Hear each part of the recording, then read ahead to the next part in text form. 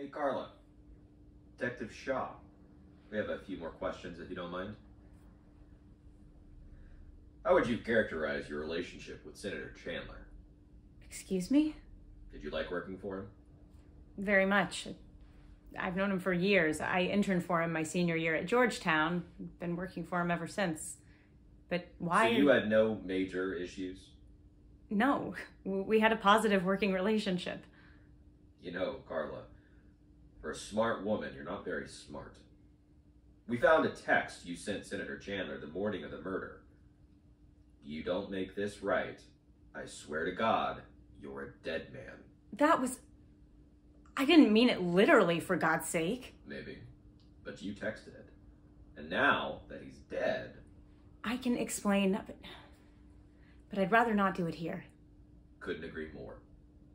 So let's head down to the precinct. All the explaining you want to there, while the video cameras are rolling.